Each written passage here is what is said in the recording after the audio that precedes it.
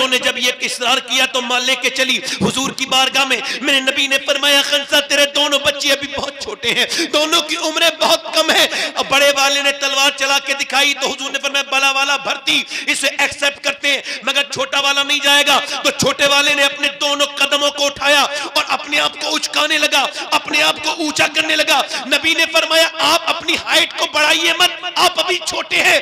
लगा, हुजूर, छोटा ज़रूर हूँ, मगर इससे ज़्यादा ताकतवर हूँ, कुश्ती करा दीजिए मेरे बड़े भाई से जो आपकी फौज में जा रहा है इससे ज़्यादा ताकत है। हुजूर ने फरमाया ठीक है आगे बढ़ा। अपने भाई का हाथ पकड़ के बोला देख तू मुझे छोड़ के मत जा। अगर तू छोड़ के गया तू अकेला शहीद हो गया तो अम्मी इतनी खुश नहीं होंगी। जितनी दोनों की लाशें आएँगी तो खुश होंगी। अगर तू भी नबी से मोहब्बत करता है तो मैं तुझसे कम नहीं करता। देख मुझे गिराना नहीं। मैं ते तू मेरा बड़ा भाई है एहसान कर दे इसका बदला अल्लाह देगा। मुझे गिराना नहीं मेरे भाई। ये देख के बेटा वो बच्चा रोने लगा और फिर जब लड़ने के लिए आगे बढ़ा, हुजूर ने दोनों की कुश्ती नहीं होने दी। दोनों को अलग हटाया, दोनों के सर पे हाथ रखा। पर मैं जब तक ऐसे बच्चे और ऐसी माए दुनिया में है, इस्लाम का कोई बाल भी का नहीं कर सकता। सात लाशें तड़पी, कुफार बोले, भागो, हम मुसलमानों से मुकाबला नहीं कर सकते। कहा, क्यों? कहा नहीं कर सकते। इस वजह से कि जब सत्तर साल की उम्मे अम्मारा की तलवार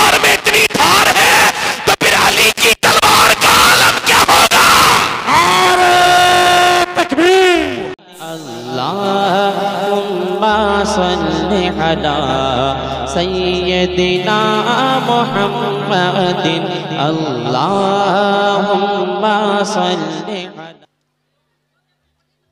ये सब्र का माना क्या है? सैयदना शेख मोहियुद्दीन अब्दुल कादिर जीलानी। गौसुल आज़म फरमाते हैं, सब्र का माना बर्दाश्त नहीं है। सब्र का माना है, अल्लाह के फैसले का इंतज़ार करना। जैसे कि चंडीगढ़ में एक मंदिर है तो गैर लोगों का यह मानना है कि वहाँ जिसकी औलाद नहीं होती, वो जाए, उसकी औलाद हो जाती है, फिर अपने बेटे को उसी बुत की शक्ल में बना के लेके जाते हैं। अभी इस बार वीडियो वायरल हुई कि वहाँ एक मुसलमान भी अपने बच्चे को लेके जा रहा है कह रहा है कि ये जो बुत है ना यहीं पे आके मेरी मुराद पूरी हुई और मुझे बेटा मिला माजल्ला उसका ईमान गया। उसका ईमान गया। क्यों? नसीब में उसके लिखा था मगर उसका नफ्स उससे बेसब्री कराते हुए बुतखाने तक ले गया। उसको मिलना तो था मगर वो चला गया उस तरफ़। मेरे नबी मक्के को छोड़ रहे हैं। और काबे को जब आखिरी बार देख रहे हैं उस्मान बिन तलहा जिसके पास काबे की चाबियाँ थी, उससे कहा, मुझे चाबी दे दे। मैं काबे के अंदर जाना चाहता हूँ। उसने कहा, आपको चाबी नहीं दूँगा। हुजूर ने ये नहीं फरमाया कि, ला, छीन लूँ, ना ना। मेरे हुजूर मुस्कुराए, फरमाया, मैं एक दिन तुझसे ही चाबियाँ लूँगा। हाय हाय हाय वाह वाह वाह एक दिन मैं एक दिन तुझसे ही चाबियाँ लूँगा। सब्र का मतलब बता रहा हूँ। तकलीफ़ का मतलब कभी आए तो कभी अपने ईमान का सौदा न करना। कभी हालात लगे ईमान के तुम्हारे खिलाफ है तो सब्र करना। मैं नबी ने फरमाया, तुझसे ही लूँगा।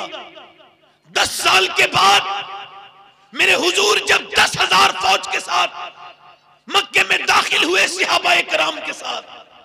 मियाँ आशिक तो दुनिया में बड़े लोगों के हैं। बड़े बड़े पीरों के मुरीद देखे गए। बड़े बड़े लोगों के फिदाईन देखे गए। मगर तारीख इस बात पर गवाह है, जैसे अल्लाह ने आशिक अपने हबीब को दिए, ऐसे किसी को नहीं अता फरमाए नारे रिसालत शान मुस्तफ़ा अजमत क्या ही सो मेरा इमाम कहता है हुस्न यूसुफ पे कटी मिस्र में अंगूठे जरा। हाय सर कटाते हैं तेरे नाम पे मर्दाने अरब। क्या बात है काबे की चाबी हुजूर ने फरमाया ला। एक तो जब हुजूर ने उससे कहा तुझसे ही लूँगा। गारंटी हो गई ये फतेह मक्का तक मर नहीं सकता। अच्छा और जब उसके पास हुजूर गए फरमाया अल्लाह चाबी। मैंने तुझसे कहा था, तुझसे ही लूँगा। ले ली चाबी। जब हुजूर वापस आए तो वो समझता था कि चाबी अब मुझे नहीं देंगे। हुजूर ने फरमाया, तुम्हारे ही पास रहती है। रिवायती तौर से खानदान, नस्ल दर नस्ल, ये आप चाबी संभालिए। कहने लगे, आपने चाबी दे दी, अब जरा ईमान भी तो दे दीजिए, कलमा पढ़ा के मुसलमान भी तो कर दीजिए। मगर एक बात पर तवज्जो, नबी आए अली के साथ आए और उसके अंदर के सारे बुत तोड़ दिए और मेरे नबी ने कयामत तक के अपने उम्मतियों को यह पैगाम दे दिया कि कभी ऐसी जगह तुम्हें शिरक नज़र आए कि तुम्हारा दिल था तुम्हारा दिल परेशान होने लगे, तुम्हारी हिम्मतें टूटने लगे और तुम्हारी आँखों में आँसू आने लगे। तौहीद के मानने वालों तो अपना दिल थोड़ा न करना, जो कि कयामत से पहले इस बात को याद रखना कि जब मैं हुआ। काबे के अंदर के बुतों की सफ़ाई करने के लिए अल्लाह ने हज़रत अली का इंतखाब किया। अली ने नबी के कहने पर बुतों को तोड़ा और हमारा ईमान कहता है, इसके अलावा यह भी सुनने वाली बात है कि कयामत जब तक नहीं आएगी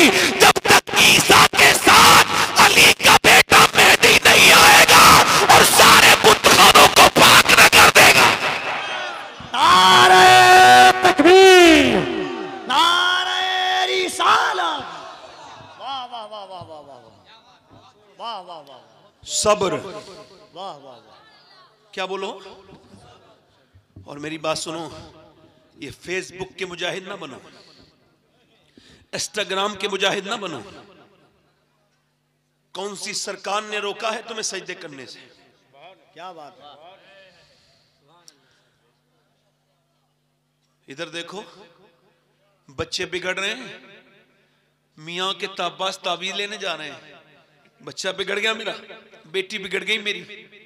जरा ध्यान से सुनिएगा, आज की तकरीर में तमहीद नहीं है, वैसे ज़्यादा होती नहीं है, आज बिल्कुल नहीं है, मगर इतना ज़रूर है कि देखो, तवज्जो करो, बेटा बिगड़ गया, बेटी बिगड़ गई, तवज्जो करें। हज़रत फुजैल बिन यास घोड़े पे बैठ के सफ़र कर रहे हैं, मुरीद पीछे पीछे हैं, घोड़े ने बिदकना शुरू कर दिया आउट ऑफ़ कंट्रोल हो गया, आपने घोड़े को रोका रोकने के बाद सजदे में चले गए रोने लगे। मुरीदों ने कहा हुजूर घोड़ा परेशान कर रहा था तो ये आपने सजदा क्यों किया? फरमाने लगे, मेरे नबी की हदीस है कि जब बंदा अपने मालिक का कहना नहीं मानता तो उसके नीचे वाले, उसके मातहत उसका कहना नहीं मानते। मैं समझ गया कि मेरा रब मुझसे नाराज़ हो गया है, जो मेरा घोड़ा भी मेरा कहना नहीं मान रहा है। तो मैंने सोचा, घोड़े को क्या मनाना है? मनाना है तो अपने रब को मनाना है। चलो, अपने रब को मना लूँ। अगर बेटी बिगड़ी है, अगर बेटा बिगड़ा है, अगर ये दोनों। तेरी बीवी अगर तेरे हाथ से जा रही है, तेरी औलाद अगर तेरे हाथ से जा रही है तो मेरे दोस्त, इस पर ज़्यादा गौर करने की ज़रूरत नहीं है। मुसल्ला बिछा ले, मस्जिद में जाके कह, माफ़ कर दे मालिक। क्यों मेरे बेटे मेरा कहना नहीं मान रहे हैं? मेरी बेटियाँ यहाँ पर बैठी हैं, मेरी बहनें यहाँ पर बैठी हैं, मेरे, मेरी बच्चियाँ यहाँ बैठी हैं। अगर इन सारी बेटियों में, मेरी बहनों में से एक मेरी बेटी ने मेरी कहने को मान लिया, मेरी बात को समझ लिया। मेरी तरफ़ तवज्जो करना, गौर करना, आप याद रखना। इकबाल कहता है, इनकलाब यूँ ही नहीं आता। इनकलाब पहले घरों में आता है। कहते हैं इकबाल, कि जब बहन अगर फातिमा बिनते खत्ताब अगर कुरान सुनाए तो भाई उमर कुरान पूरी दुनिया को समझा देता है। और अगर माँ बन के फातिमा बिनते मोहम्मद कुरान सुनाए तो हुसैन पूरी दुनिया को कुरान का मतलब समझा देता है वाह वाह वाह वीडियो हैं, घरों में गाने हैं, फ़िल्में हैं, ड्रामे हैं। इधर देखो, तवज्जो करो। एक औरत अगर चाहे तो पूरी नस्ल बदल सकती है। बदल बदल सकती है कि नहीं? बदल सकती है। हमारे यहाँ एक औरत आई, शादी होने के बाद उसने देखा, मेरा आदमी पढ़ा लिखा नहीं है। वो खुद पढ़ी लिखी थी। तो अगर कोई पढ़ी लिखी जाहिलों में आ जाए ना तो पूरी ज़िंदगी इसी ताने में मर जाती है बेचारी, वो भी जाहिल में। तुम तो पढ़ा लिखा ही नहीं, तुम में तो कोई। वो ये नहीं करेगी कि इसे थोड़ी तालीम दे दूँ, पढ़ा दूँ। नहीं, पूरी ज़िंदगी इसी बात का झगड़ा रहेगा कि तुम जाहिल हो, मैं पढ़ी लिखी हूँ, मगर उसने अपने आदमी को कुरान पढ़ा दिया। गैर मुनकसिम हिंदुस्तान में, तवज्जो करें, एक आदमी अपनी बीवी को लेके आपके करीब जो भी शहर पड़ता होगा, मैं तो एग्जांपल के लिए कह रहा हूँ, जैसे किशनगंज चला गया। अब बेचारा अपनी माँ बहन के साथ तो कभी नहीं गया था बाज़ार, मगर बीबी के साथ गया। और मजलूम इतना है बेचारा बच्चे को गोद में लेके बाज़ार के अंदर चल रहा है। बच्चा बीबी आगे आगे है। बेचारी ने एक जगह से दुपट्टा खरीदा है और उसके बाद उसके उसके जूते खरीदे गए।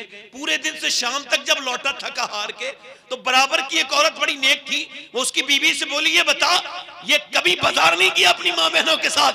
मगर तूने चाहा तो पूरा किशनगंज इसने छान लिया और तुझसे उफ तक नहीं कहा। अगर तू बाज़ार भेज सकती है या ले जा सकती है तो अपने आदमी को मस्जिद भेज सकती है नमाजी भी बना सकती है वाह वाह वाह वाह। वाह वाह वाह वाह वाह मेरी बहनें, मेरी बेटियाँ, गैर मुनकसिम हिंदुस्तान है, एक चौधरी है, उनका नाम बाजैद है। क्या नाम है भाई? बाजैद। दिल लग रहा है? दिल लग रहा है आपको? आप मुस्कुराइए जरा। दिल लगी है तो दिल लगेगा अच्छा सुनिए, मैं आपको बताऊँ। लोग कहते हैं, हम बड़ा दीन समझ गए। मगर खुदा की कसम, ये जितने फ़िल्टर वाले मोबाइल लेके चल रहे हो ना वही वही मान रहे हो जो तस्वीर फ़िल्टर करके दिए मोबाइल ने? अपने चेहरे के दाग धब्बे मानने के लिए बंदा तैयार नहीं। कहता, मैं वही हूँ, जो मैं इंस्टाग्राम पे हूँ, मैं वही हूँ ये बड़ा धोखा है बड़ी गलत फहमी है। लोग खूबसूरत बनना चाहते हैं। हॉवर्ड ने रिसर्च किया कि बंदे का खूबसूरत चेहरा किसी भी दुनिया की चीज़ से नहीं होता। ना कॉस्मेटिक से होता है ना क्रीम से ना फेस वॉश से का फिर कह लेकिन इंसान के चेहरे के अंदर 126 मसल्स हैं। ये तभी एक्टिव होते हैं जब बंदा मुस्कुराता है। और मुस्कुराना ये मेरे हुजूर की सुन्नत है सुबह अल्लाह। मुस्कुराया करें अपने घर में जाए तो मुस्कुराए माहौल अच्छा हो जाएगा। कुछ लोग इतने बदबख्त होते हैं, घर में जाएँ तो बच्चे खेलते खेलते डर जाते हैं। अब्बा आ गए। ऐसा लगता है अब्बा नहीं आए, कोई फिरौन ज़्यादा आ गया अपनी ज़िंदगी में तब्दीली लाइए। मुस्कुराइए, जरा मुस्कुरा के बोलिए सुबह अल्लाह तो वो जो चौधरी हैं तो वो जो है चौधरी हैं, उनके दो बीबियाँ पहले से हैं ऑलरेडी है भाई, मैं इस वजह से नहीं कह रहा हूँ कि आप दूसरी बीबी के तरफ़ जाएँ। आप समझे, मैं सब चीज़ों को प्रपोर्ट नहीं करता प्रमोट नहीं करता। ना मैं मना करता हूँ, ये जायज़ है कि आदमी दूसरी शादी कर ले। मगर ये जायज़ है। क्या है भाई? और सुन्नत तिरपन साल के बाद दूसरी शादी करना है। अब तो जो है मेरी बात पे नहीं। उन्होंने तीसरी शादी कर ली चौधरी साहब ने। दो बीबियाँ पहले से हैं। सौ नौकर काम करते हैं। ढाई तीन सौ बीघा ज़मीन है। बड़ी हवेली है। चौधरी की तीसरी बीबी आई, तीसरी बीबी ठीक मिल गई। कभी कभी बीबी ठीक भी मिल जाती है। इसको तीसरी ठीक मिली। ये क्यों कह रहा हूँ? बैकग्राउंड नमाजी था उस औरत का। उसका बाप नमाजी, उसकी माँ नमाजी, उसका भाई नमाजी, उसके घर में पाँचों वक्त की नमाजें पढ़ी जाती हैं। उसका बाप मस्जिद से नमाज़ पढ़ के सुन्नतें घर के अंदर पढ़ता है। मेरे नबी के बिल्कुल अपने घरों में नमाज़ पढ़ना सीखो, इधर देखो। हुजूर के घर में और मिंबर में ज़्यादा फासला नहीं, एक दीवार बीच में है हुजूर के घर से मिंबर में। मगर अम्मी आयशा फरमाती है, मेरे नबी तहज्जुद की नमाज़ घर में पढ़ा करते थे। फराइज पढ़ के आओ मस्जिद में। सुन्नत आके, नवाफिल आके कहा पढ़ेंगे? ताकि घरों को कब्रिस्तान न बनाओ, वहाँ भी नमाज़ पढ़ो। कभी अपने छोटे बच्चे के साथ नमाज़ पढ़ के देखो, वो भी ऐसे सजदे में गिर जाएगा पट कि तुमको उसके, उस पर देख के बड़े, तुमको जो है मोहब्बत आएगी। मैं कह रहा हूँ, उसकी दो बीबियाँ थी, तीसरी बीबी आई, नमाजी थी, नेक थी उसने सोचा कि आखिर इसको बदलना कैसे है? आखिर इसको बदलना कैसे है? तो उसने कोई झगड़ा नहीं किया, कोई लड़ाई नहीं की, उसने तरकीब सोची। सौ नौकर हैं, कोई नमाज़ नहीं पढ़ता। घर में माल दौलत है, न बीबियाँ नमाज़ पढ़े, न घर में कोई नमाज़ पढ़े, मगर एक नमाजी लड़की की एंट्री हुई। उसने झगड़ा नहीं किया, ताने नहीं दिए कि तुम सब बेनमाजी हो, तुम नमाज़ नहीं पढ़ते, बल्कि उसने सोचा नमाज़ कैसे पढ़ा? इनको आदत डलवानी है। उन्होंने ये किया कि उसने ये किया कि अपनी शोहर के पास उसने देखा कि दूध लेके जाता है उसका नौकर। तो उसने कहा, आप दूध लेकर के नहीं जाएँगे, बल्कि दूध लेकर के मैं जाऊँगी। नौकर की हैसियत कितनी होती है वो तो हट गया। ये दूध लेकर के उसके पास पहुँची। अच्छा पहले दूध ऐसे ही जाता था सादा। इसने बादाम वगैरह में उसको पकाया और बेहतरीन सुर्ख दूध करके बेहतरीन गिलास में तरकीब देखिए नमाजी बनाने की। लेके गई और बोली, चौधरी साहब, लीजिए, दूध पीजिए। उसने कहा, मेरी दो बीबियाँ तो पहले भी हैं। उन्होंने तो कभी मुझसे दूध के लिए नहीं कहा, ना वो दूध लेके आई, नौकर लेके आते, आप क्यों आई हैं? कह लगी, मेरा ज़्यादा हक बनता है आपकी खिदमत करने का। आप मेरे शोहर हैं, मैं आपकी बीबी हूँ। लीजिए दूध पीजिए। चौधरी ने दूध पी लिया तो बोली, हुजूर, मैं आपके पाँव दबाना चाहती हूँ। कहा, क्यों? कहा, मैं अपने घर पे अपने अब्बा की खिदमत करती थी, अपनी अम्मी के पाँव दबाती थी। अब मैं आपके पाँव दबाना चाहती हूँ। उसने कहा, ठीक है, इजाज़त दे दी। वो पैर दबाती रही। अच्छा वो उन रगों को जानती थी जिससे दबाने से बंदे को रिलैक्स फील होता है। यानी वो बाप के दबाने जानती थी। ट्रेन थी वो, मियाँ अब तरबियत याफ्ता थी। पाँव दबाते दबाते चौधरी को लुत्फ आया उसको नींद आने लगी। जब वो सोने लगा खर्राटे शुरू हुए। कहने लगी चौधरी साहब मैं जा रही हूँ आपको भी नींद आ रही है। मगर अगर आपको बुरा ना लगे तो सुबह फजर में नमाज़ के लिए उठा दू। तो एक तो चौधरी दूसरा मर्द। दो दो अलामत उसके अंदर तकब्बुर की। कहने लगा मैं तू मुझे समझाएगी? से? अच्छा आपको क्या लगता है, ये उल्टा वाला रिवाज कब तक चलाएँगे आप? कि जो बदतमीजी करे, उसने बेजती कर दी? जो गाली बकता है, वो बेजती कर देता है। आपका क्या ख्याल है? जो गाली बकता है, वो बेजती कर देता है? या जो बर्दाश्त कर लेता है, उसकी बेजती हो जाती है? या इज़्ज़त वाला कौन है? जो गाली बके, वो इज़्ज़त के लायक है? जो गाली सुन के जवाब न दे, वो इज़्ज़त के लायक है जो गाली सुनकर जवाब ना ये इतनी हल्की आपने अपनी इज़्ज़त क्यों बना ली? कि कोई भी बेजती कर दे आपकी। खुदा की कसम गालियाँ देने वाला अबू जहल इज़्ज़त के लायक नहीं है। गालियाँ सुन के सबर करने वाला अबू बकर सिद्दीक इज़्ज़त के लायक है। वाह वाह वाह वाह वाह वाह वाह वाह वाह। क्या बात है मियाँ वाह वाह वाह। बदतमीजी की उसने बागिया से। अल्लाह वाली थी वापस पलटी। चली गई मगर फिर दूसरे दिन उसने रास्ता नहीं बदला। आई। अरे बेजती किसी करने थोड़ी होती। आई पलटी और पलट। के बाद दूध लेके आई। चौधरी का फिर नमाज़ के लिए कहेगी कहा चौधरी छोड़ो ना खत्म करो ना बात को। मेरा हक क्यों आप खत्म करते हैं? दूध तो पीजिए फ़िलहाल। उसने मोहब्बत से दूध पेश किया। चौधरी भूल गया कल की बात को। उसने दूध पी लिया और दूध पीने के बाद वो फिर उसके पाँव दबाने लगी। दबाते दबाते दबाते दबाते दबाते दबाते पाँव चौधरी की आँख फिर लगने लगी। फिर कराटे हल्के हल्के शुरू हुए। औरत आगे बढ़ के बोली चौधरी साहब आपको अगर बुरा ना लगे, मैं जा रही हूँ, नींद मुझे भी आ रही है, मगर गुस्सा न करना, जलाल न करना, देखे रूठ न जाना, सुबह फजर में नमाज़ के लिए उठा दूँ, आओ देखा न ताओ चौधरी ने लात मार दी, ऊपर पलंग था, लात मारते ही ऊपर से नीचे को लुढ़क के गिरी, मुँह के बल गिरी, मुँह फट गया, और उसके अंदर से खून भी निकलने लगा, और जब खून कतरे नीचे को टपके, उसने एक मरतबा भी नहीं कहा, जाहिल मारता क्यों है? मैं तो तुझे नमाजी बनाने आई हूँ, एक मरतबा भी नहीं कहा, न जाने कितनी नेक थी, उसने उठाया वहाँ से वो अपना बर्तन और खामोशी के साथ चली गई। न जाने कितने नेक बाप की औलाद थी, न जाने कितनी नेक माँ की औलाद थी, कैसी माँ होगी जिसने ऐसी बेटी तरबियत की है। ऐसा कितना नेक बाप होगा। मियाँ पिटी कुटी एक लफ्ज नहीं का चली गई, फिर आती रही, जाती रही।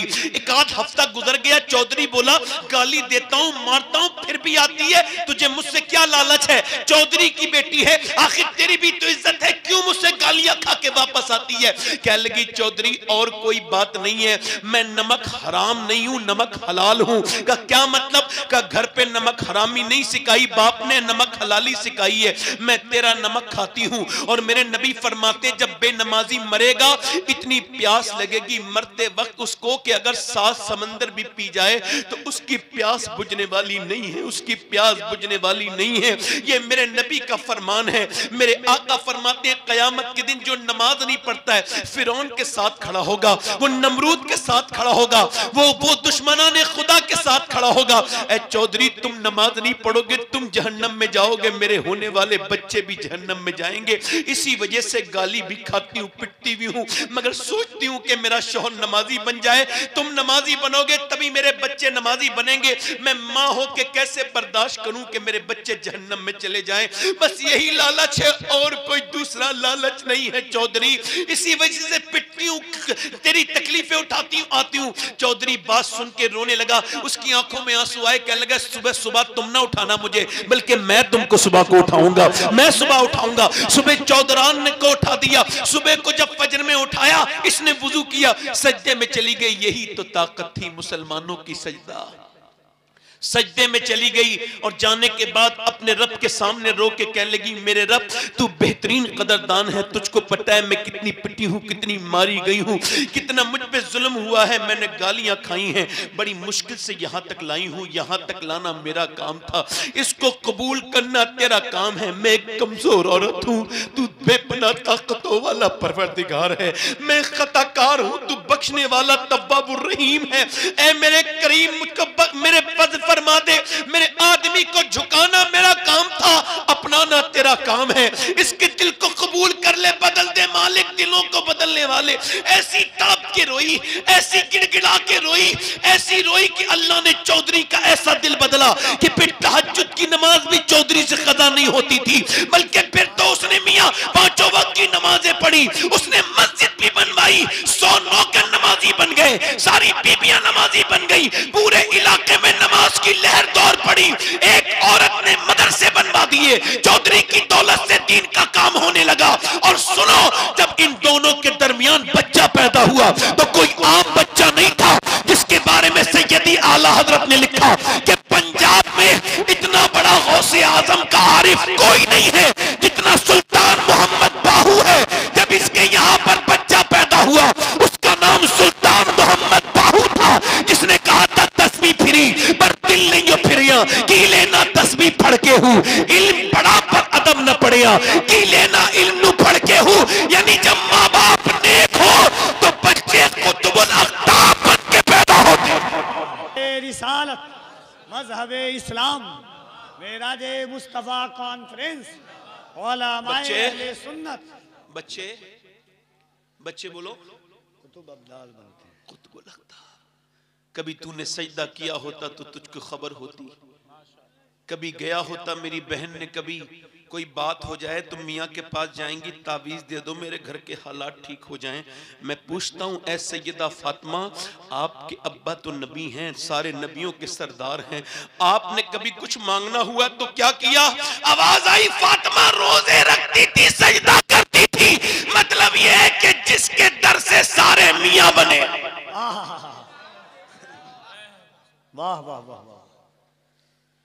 जिसके डर से सारे मियाँ वो नबी की बेटी पैगाम दे रही है?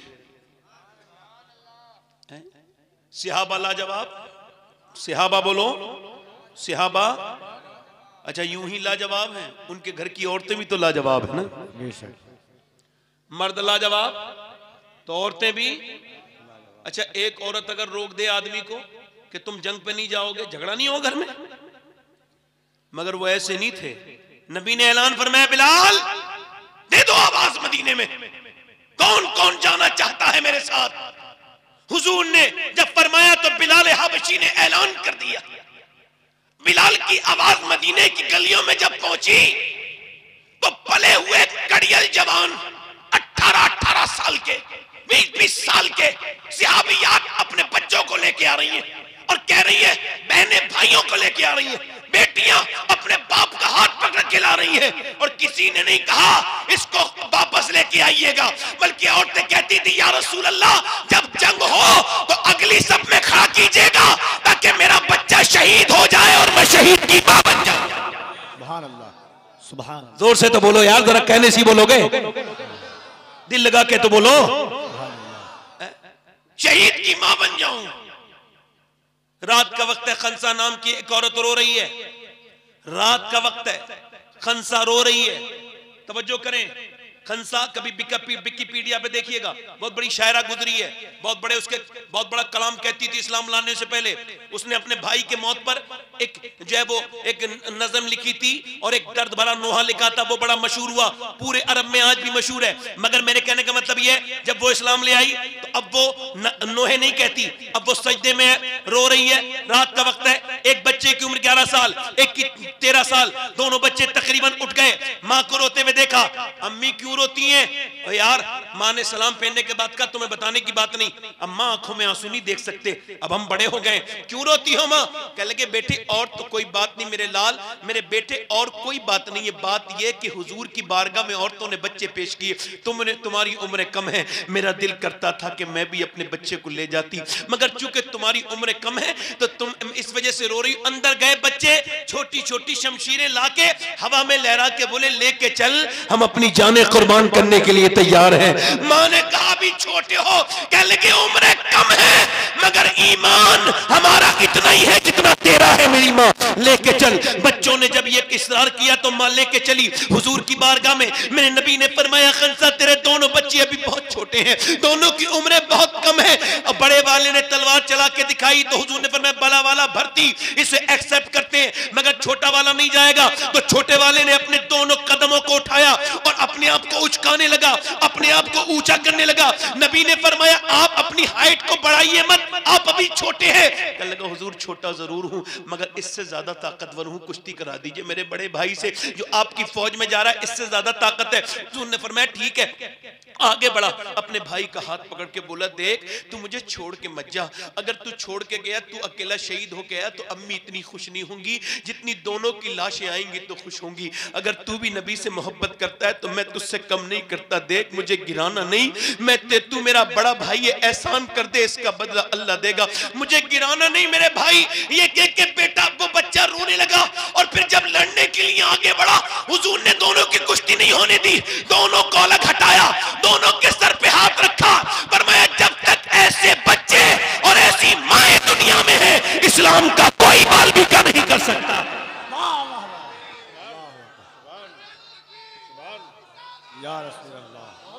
इधर देखो बलियाबी साहब की मौजूदगी में और इन उलमा की मौजूदगी में मैं आपका खादिम एक बात अर्ज़ करके जा रहा हूँ।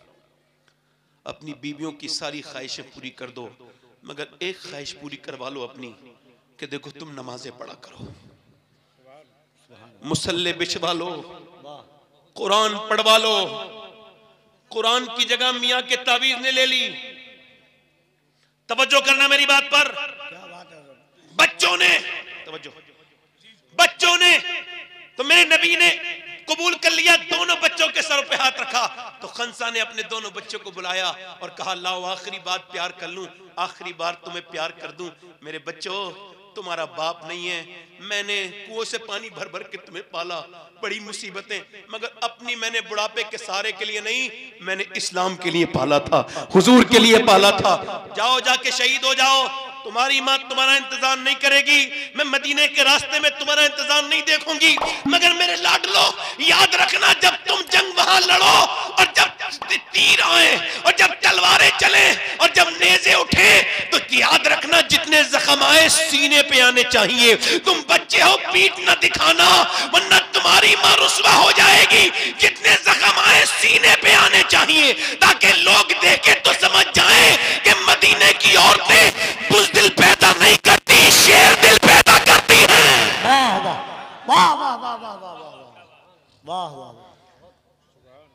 एक औरत और आ गई।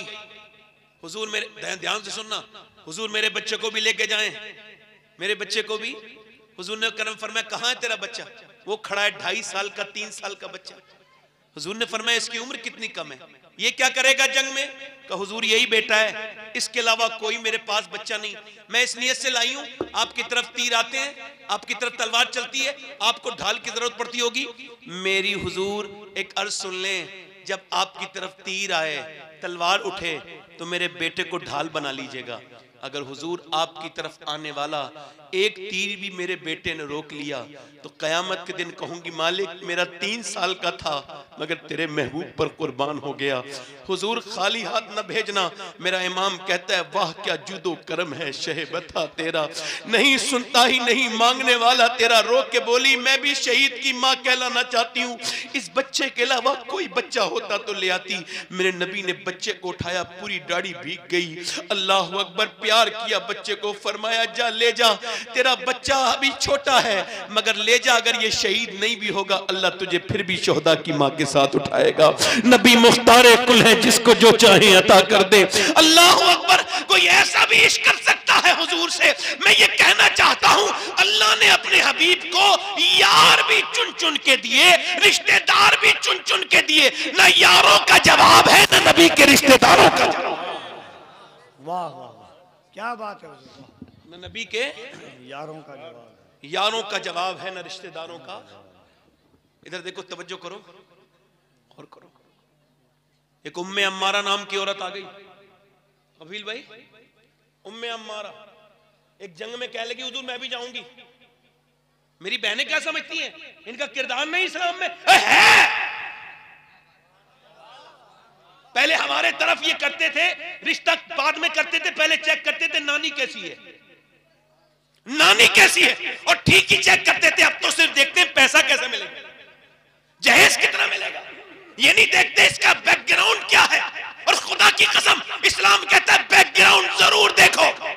जो कि इस्लाम कहता है, अगर बैकग्राउंड देखना है तो फिर इस्लाम में भी देखो। अगर नानी देखनी है तो मक्के की खतीजतुल कुबरा देखो। और अगर माँ देखनी है तो मदीने की फातिमतुल देखो। और अगर नवासी देखनी है तो जैनब की जैनब की जैनब कुबरा देखो। वाह वाह वाह वाह वाह वाह इस्लाम दिखाता है। तवज्जो है कि मेरी बात पे नहीं? दोनों हाथ उठा के बोलो जो लोग सुन रहे हैं मेरी तकलीफ़ दोनों हाथ उठा के बोलो लब्बाई का या रसूल अल्लाह सुभान अल्लाह तवज्जो है? क्या बात है तवज्जो है? उम्मे हमारा आ गई हुजूर मैं भी जाऊँगी। सत्तर साल से ज़्यादा की उम्र है। बाल सफ़ेद है हुजूर ने मैं क्या करोगी तुम? का जख्मियों को पानी पिलाऊँगी और उनको मरहम पट्टी करूँगी। चली गई जंग में। अब जब काफिर तो होते ही बुजदिल है। या तो आदमी काफिर नहीं होगा, काफिर होगा तो बुजदिल होगा। क्योंकि बुजदिली काफिरों के दिल में होती है, ये बिल्कुल इनके दिल बिल्कुल बेकार। अब ये क्या सोचे? हुजूर की तरफ़ हमला किया ना तो उम्मे अम्मारा ने तलवार सूती, शेरनी की तरह खड़ी हो गई। वो समझे, औरत है, इसे गिरा लो, इसी मारो। ये औरत है ना, इधर से ही तोड़ दो घेरा। गए, आगे जाकर के उधर से उन्होंने हमला करना चाहा, एक जवान आया, उस बूढ़ी औरत ने तलवार लेके घमंड में मारा, उसने वार किया। उम्मे अम्मारा ने तलवार में उसकी तलवार फंसाई, और मारा एक दूसरा वाला जब पैतरा तो उसको बीच में से दो टुकड़े करके नीचे को गिरा दिया। उसके बाद तीसरा आया, उसके बाद दूसरा आया, फिर तीसरा आया आते रहे, कटते रहे, आते रहे सात लाशें सत्तर साल से ज़्यादा उम्र की औरत ने गिरा दी। जब सात लाशें तड़पी, कुफार बोले, भागो, हम मुसलमानों से मुकाबला नहीं कर सकते। कहा, क्यों? कर नहीं कर सकते? इस वजह से कि जब सत्तर साल की उम्मे अम्मारा की तलवार में इतनी धार है तो फिर अली की तलवार का आलम क्या होगा तकबीर दोनों हाथों को उठाकर नारे हैदरी नारे हैदरी वाह वाह वाह वाह वाह वाह बेटा बेटा बेटा बेटा बैठो बैठो बहुत आपका बेटे आपका नारा नहीं, आपकी जूती मेरे सर पर, मगर फ़िलहाल वक्त कम है। और मैं उसको, मैं बड़ा पाबंद हूँ। इतना वक्त का पाबंद हूँ, जब मेरा वक्त आएगा, मैं मर भी जाऊँगा। आपको बात करूँगा दिल लगा के बोले सुबहान अल्लाह तो जाए कि नहीं? सुबहान अल्लाह अब अब वो कुछ लोग जहन लोगों का बदल रहे हैं। हमने इतनी मुसलमान लड़कियों को डाइवर्ट कर दिया। उनका, मैं कहता हूँ, हमें तकलीफ़ है। दर्द है, अफसोस है। सारे मुसलमानों को अफसोस है। मगर एक दिन मैंने सोचा, यही तकरीर करने से पहले कुछ गौर भी तो करो। क्या वो लड़कियाँ जिस पर ये आरएसएस वाले कूदते हैं, हमने इतनी बदल दी? इतनी हमने ले आए। इस्लाम इतनी लड़कियों ने छोड़ा, क्या उनके पास इस्लाम था? वो लड़कियाँ जानती थी इस्लाम को, आवाज़ आई, नहीं जानती थी। तुम तो कहते हो लाखों बदल ली तुमसे एक भी नहीं बदल सकती। और अगर इसकी मिसाल देखनी है तो जाओ देखो उस फलस्तीन को, जहाँ जान दे दी मगर ईमान नहीं दिया। ये कॉलेजों में नाचने वाली लड़कियाँ कि जी बेगैरत बाप की बेगैरत लड़की चली गई? किसी बेशरम माँ की बेशरम बेटी चली गई? जिसने तरबियत नहीं की? और फलस्तीन दस हज़ार बच्चे शहीद हुए जिनकी उम्र दस साल से कम है। हाँ। और किसी कोई ह्यूमन राइट्स वाला कोई बात नहीं करेगी तंजीम। पूरी दुनिया के वो इदारे जो कहते हैं, हम अमन के इदारे हैं। उनको क्यों, उन्होंने क्यों नहीं कहा? इतने जानवर भी अगर कहीं मर गए होते ना तो लोगों ने सड़कों पे गए होते। मगर हुजूर के उम्मतियों का किसको दर्द है? वो तो पहले जमाने थे भाई। हम देखते थे अपने बचपन में, जब सद्दाम की खबरें आती थी, लोग चौपालों पे, रेडियो पे सुन सुन के रोते थे। पूछा, क्यों सद्दाम के लिए क्यों रो रहे हो? कहने लगे, साहब, वो भी तो कलमा वही पढ़ता है जो हम कलमा पढ़ते हैं। मैंने कहा, वो दूसरा दौर था जब मुसलमानों को गम था। वो दमाना, वो था यार, उस फलस्तीन पे हम, हमारा क्या ताल्लुक फिलिस्तीनियों से? उन्होंने जाने दे दी, मस्जिद अक्सा ना छोड़ी, और हम अपने मोहल्ले की मस्जिदें छोड़े हुए हैं। हमारा उनसे क्या ताल्लुक है। हम मस्जिदों में नहीं गए। और यार जरा गौर तो करो मगर मेरी बहनें सुन ले मेरी बेटियाँ सुन ले ये जो फिटिंग का लिबास पहनती है सुन ले ये मेरी बेटियाँ सुन ले जिन्होंने आधा ये जो बाजारों में घूम रही हैं नौजवान लड़कों के साथ मोबाइलों पर बात कर रही हैं ये जो इस पूरे जलसों में बैठी आई हैं इन सबको सुनाओ जा करके बताओ ये कोई मज़ाक की जगह नहीं है हुजूर की जलसा है। मेरी बहन तेरी ज़िंदगी बद, बद, बद यहाँ बर्बाद हो जाएगी यहाँ इंसान नहीं आए हैं। न जाने कितने अल्लाह के फरिश्ते मौजूद हैं। इन्हें बाज़ार बना देना। यहाँ पर लड़कियाँ और लड़कों का ये जो मा- माज़अल्लाह ये जो मामला मैंने देखा अपनी आँखों से मैं इस वजह से कह रहा हूँ कि मैं अल्हम्दुलिल्लाह कहता ही वो कहता वही हूँ जो मुझे लगता है कहना चाहिए। तो ये मैं कह के जा रहा हूँ इन जलसों का अदब करो इनका एहतराम करो या तो सीरत रसूल का जलसा ना कहो। और अगर जलसा कहो तो इसका एहतराम करो। मेरी बहनें बेपर्दा आने वाली, मेरी बेटियाँ बेपर्दा आने वाली, फिटिंग का लिबास पहन के इन जलसों में घूमने वाली को बता रहा हूँ, मैं अल्हम्दुलिल्लाह सैयद हूँ। मगर फिर भी कहता हूँ, अगर फलस्तीन की लड़की का मुझे जूता मिल जाए, जिसने ये स्टेटमेंट दिया तो उसका जूता अपने कफन में रख के सो जाऊँगा। कहूँगा, जब मैं मरूं तो मेरे सीने पर इस लड़की का जूता रख दो। किसका? जिसने ये कहा है, हम रात को सोते हैं तो फिर क्या करती हो? का बुरका ओढ़ के सोते हैं, पूरे पर्दे में। का रात को सोते वक्त तो कोई पर्दे में नहीं सोता। तुम बुरके में सोती क्यों हो? कहने लगी, इस वजह से जब बम आते हैं तो पूरा जगह मलबे में तब्दील हो जाती है। लाशें निकाली जाती हैं। हम ये सोच रही हैं कि जब सुबह को हमारी लाशें निकलें, जब हमारे घर मलबे में तब्दील हो और जब हमारी लाशें निकलें तो हमारे जिस्मों पे पर्दा होना चाहिए, बेपर्दा नहीं होना चाहिए। वरना कयामत के दिन नबी की बेटी को क्या मुँह दिखाएँगे? जिनके बच्चों की लाशें उठ गई, उनके ईमान का हाल ये है। जिन्होंने अपने भाइयों के जनाजे उठते देख लिए, हमारी उनसे क्या निस्बत है? अल्लाह अकबर, बस ये सारी बातें करके आपसे अर्ज़ करना चाहता हूँ, मेरे दोस्तों, अल्लाह के रसूल फरमाने, फातिमा, मेरी बेटी चाँद देख लिया? अब्बा नहीं देखा। फातिमा, सबने चाँद देखा, मेरी बिटिया ने क्यों नहीं देखा? अब्बा, जिस चाँद पे गैर महरम की नज़र पड़ी है, उस चाँद को आपकी बेटी फातिमा नहीं देखना चाहती। बरेली से मेरा इमाम बोला, जिसका न देखा ने, उस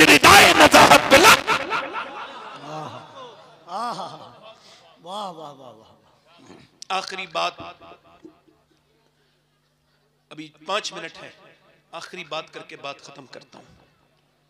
तौबा कर लो मेरी बेटियों, मेरी बहनों पर्दा ना बेपर्दगी करना सख्त हराम है। हुजूर ने फरमाया कि जहन्नम में मैंने औरतें देखी जो बेपर्दा करती थी, बेपर्द, बेपर्दा रहती थी, पर्दा नहीं करती थी। अपने दोस्तों मेरे अल्लाह से तौबा कर लो और कहो, मेरे मालिक मुझे माफ़ कर दे। एक आँसू बहा लो, रो लिया करो उसके सामने। आपको तकलीफ़ है ना कि अभी बड़ा, बहुत बड़ा हादसा हुआ है हिंदुस्तान में? तो तकलीफ़ कहाँ निकालोगे? मस्जिदों में जाओ ना और कहो "ऐ अल्लाह, अब हम मस्जिदें नहीं छोड़ेंगे, हमारी मस्जिद छिन गई, अब नहीं छोड़ेंगे। हम मोहल्ले की मस्जिदें आबाद करेंगे, मालिक। हमको माफ़ कर दे मेरे रब। अपने अपने रब से तौबा कर लो।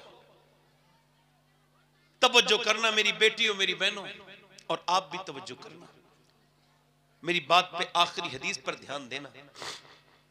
हुजूर एक दिन अपनी बेटी के घर गए। आवाज़ दी, फातिमा, अंदर आ सकता हूँ? जी अब्बा, अकेले हैं तो आ जाएँ। मेरे साथ इमरान आए हैं।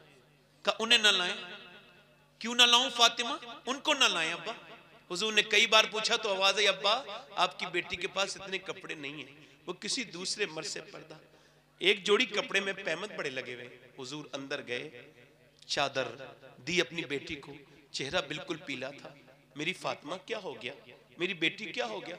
अल्लाह का शुक्र है, अब्बा। और मेरी बिटिया बताना हुजूर ने एक दो बार पूछा तो बेटी फूट के बोली, अब्बा, पाँच दिन से कुछ नहीं खाया। पेट से एक पत्थर बंधा हुआ है। फरमाया, फातिमा, दुनिया आले मोहम्मद के लिए नहीं है, ना गुलाम मोहम्मद के, ना मोमिन के लिए है। ए मेरी बेटी, अगर तूने पाँच दिन से कुछ नहीं खाया है तो तेरे बाप ने नौ दिन से कुछ नहीं खाया है। मेरे दो पत्थर बने हुए हैं, मगर वो सैयदा, वो तैयबा, वो ताहिरा, वो आबिदा, वो जाहिदा, वो कुएँ से पानी लेके आ रही है तो कुरान पढ़ रही है, वो चक्की चला रही है तो कुरान पढ़ रही है, वो भूखी है, प्यासी है, कुरान पढ़ रही है, उन्हें हुसैन पाल के देना है जमाने को। तुमने भी तो पाल के देने थे बच्चे, मेरी बेटियों, मेरी बहनों, ये उम्रें कम हो जाएँगी, ये जवानियाँ खत्म हो जाएँगी। अपने रफ से तोबा करो। कैसी अंधेरी कब्रें तुम्हारा इंतज़ार कर रही है? एक बात और बताऊँ अपनी बेटियों को और आपको भी हाथ जोड़ रहा हूँ। अगर तुम चाहो मेरी बेटियों तो मैं तो आपका नौकर हूँ। आज से पर्दे में रहना शुरू कर दो। आज से मुसल्ले बिछा लो। आज से कुरान पढ़ना शुरू कर दो। मेरी आखिरी बात यही है। आपको बताऊँ, अम्मा आयशा कहती, हुजूर के पेट पे पत्थर बनते थे ना तो दुआ क्या करते थे? कभी अपने लिए दुआ नहीं करते थे। दोनों हाथ उठाते थे। हुजूर, पेट पे पत्थर बंधे हुए और दुआ क्या कर रहे हैं? या अल्लाह, मेरी उम्मत कभी भूखी ना मरे, मेरी उम्मत कभी भूखी ना मरे, जो मेरे आला हज़रत फरमाते जो न भूला, हम गरीबों को रजा याद, उसकी अपनी आदत कीजिए। याद रखो मेरे दोस्तों, अपने नबी से प्यार करो। दुनिया में दो हस्तियाँ ऐसी हैं जिनका हक नहीं अदा हो सकता। एक अल्लाह, एक उसका रसूल। अपने नबी से मोहब्बत करो, उसके रसूल से मोहब्बत करो। बस ये, अल्हम्दुलिल्लाह, दो मिनट हैं अभी पे। दोनों हाथ उठा के बोलो। इंशाल्लाह हुजूर के नाम पे कौन कौन गर्दन कटा देगा? दोनों हाथ उठा के बताओ। नीचे हाथ कर लो। जो गर्दन कटा सकता है, कुछ भी कर सकता है। कुछ भी कर सकता है ना?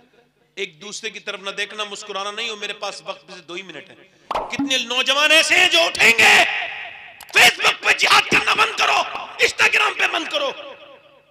अफसोस करना बंद करो, कितने नौजवान ऐसे हैं जो आज इस्लाम के लिए और मेरे नबी के लिए वादा करेंगे। कौन कौन गर्दन कटा सकता है? पहले हाथ उठा के बताओ कौन कौन कटा सकता है? अब हाथ नीचे करो, जो गर्दन कटा सकता है, कुछ भी कर सकता है। तुम में कितने लोग ऐसे हैं जो गर्दन भी कटा देंगे और आज से पूरी दाढ़ी भी दिखा देंगे। इस महफिल में खड़े हो जाओ। जो नौजवान आज से दाढ़ी रखाएँ वो खड़े हो जाएँ इस महफिल में। जो पूरी दाढ़ी रखाएँ जज्बात के साथ खड़े हो। घुमा दो इनकी तरफ़। अल्लाह तुम्हें देख रहा है, जो आज से पूरी दाढ़ी रखाएँ ना ना मुड़ाएँ वो इस महफिल में खड़े होके कहे, मैं, हम आज भी कल भी नबी पर कुर्बान थे, आज भी कुर्बान है। सुन्नत रसूल कौन कौन रखाएगा? हाथ ऊपर उठा दें। दाढ़ी रखाने वाले हाथ ऊपर कर लें। खड़े होके हाथ ऊपर करें। जो हाथ से पूरी दाढ़ी रखाएँ, दाढ़ी कटाना मुड़ाना एक बराबर है, पूरी दाढ़ी रखाएँ। मेरे साथ कहो, इंशाल्लाह, ज़ोर से, इंशाल्लाह। वादा करते हैं। आज के बाद न दाढ़ी कटेगी, न मुड़ेगी, इंशाल्लाह। पूरी सुन्नत रखाएँगे, इंशाल्लाह। ज़ोर से बोलो, इंशाल्लाह। या अल्लाह इन तौफीक अता फरमा मेरे मालिक, इस्तिकामत। बैठ जाओ। हुजूर की आँखों की ठंडक है नमाज़। बेनमाजी जलील होके मरता है। तौबा करोगे, इंशाल्लाह? दोनों हाथ उठा के वादा करो, इंशाल्लाह, नमाज़ की पाबंदी करेंगे। दोनों हाथ उठा के बोलो, इंशाल्लाह। अपनी बहन बेटी को पर्दा कराएँगे, इंशाल्लाह। मसल के आला हज़रत पे सख्ती से कायम रहेंगे, इंशाल्लाह। अल्लाह ताला आप सबको आबाद रखे, शाद रखे। दौरान गुफ्तगू की गलती हो गई हो, मैं अपने रब से तौबा करता हूँ। आप भी तौबा करें।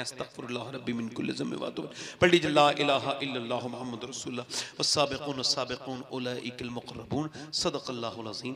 मेरी ज़िंदगी का मकसद तेरे दी की सरफराजी। मैं इसलिए मुसलमान, मैं इसलिए नमाजी। इस्लाम जिंदाबाद। मसल के आला हज़रत, पाइंदाबाद। अस्सलाम वालेकुम वरहमतुल्लाह